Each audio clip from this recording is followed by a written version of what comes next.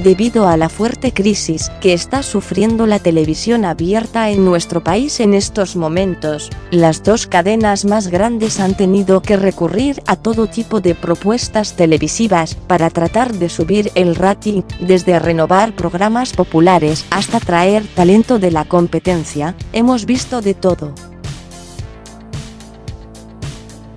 una de las apuestas más fuertes que Televisión Azteca está haciendo en este momento, es la de revivir uno de sus programas más exitosos, pues hace poco la televisora anunció que el reality show La Academia volverá a las pantallas este año,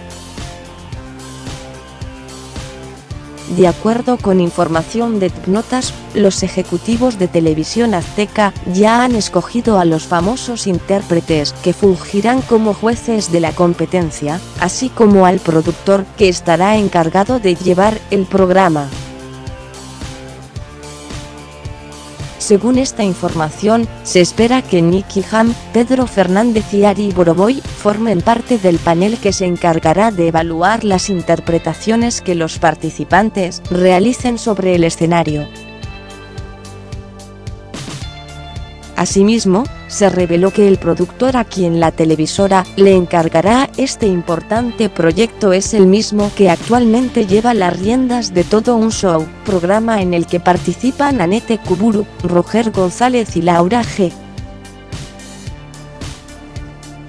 Asimismo, se rumorea que la cadena está en negociaciones con Spotify para que todas las canciones que se presenten durante las emisiones estén disponibles para ser escuchadas de inmediato,